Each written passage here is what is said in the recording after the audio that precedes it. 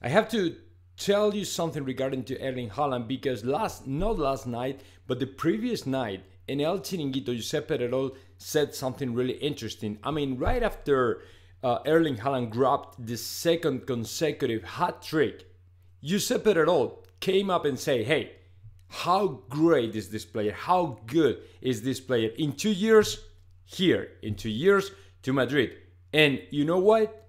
He has a release clause of about two years before to leave Manchester City or to have the right, to have the choice, to have the option to leave Manchester City for any other club in the world. The reason for that is because when Mino Raiola used to be alive and working with the players and all the stuff, what he used to do pretty much every, I mean, eh, pretty much in every single contract, it was okay, you're gonna sign the contract, but we will include a two year release clause just in case the things go wrong and then you need to go out, right? That was something that it was well known in the soccer world that Raiola used to do with his players, right?